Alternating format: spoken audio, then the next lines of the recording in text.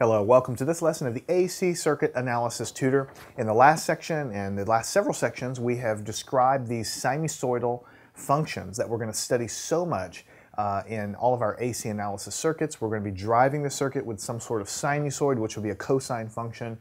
Uh, we talked about the frequency, the amplitude, the phase angle.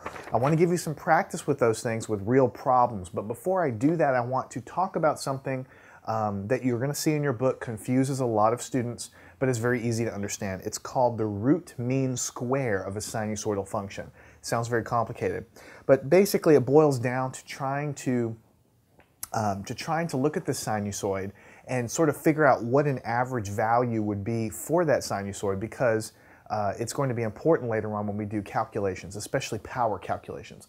Let me show you what I'm talking about here.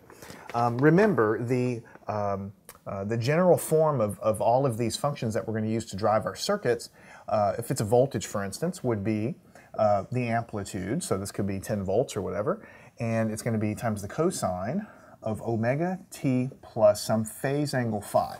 So basically, as time marches on, then this number goes up, up, up, and so the argument inside increases as time goes on, and so we trace out this cosine function. So if we were to draw this just real quickly again, I know we've drawn it several times, so I'll make it really short uh, here.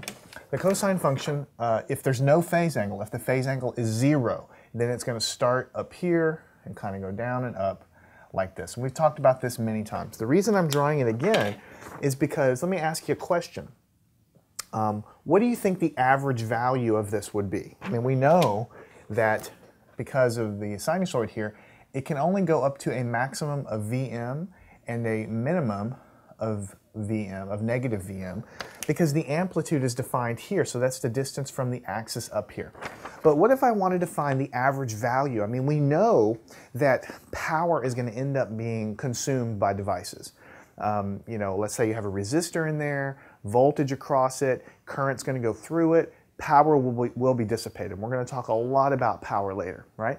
But the only trick with it here is that the current goes in the resistor and then it turns around and goes the other way and then it goes the other way and then it goes the other way. So it's constantly oscillating back and forth.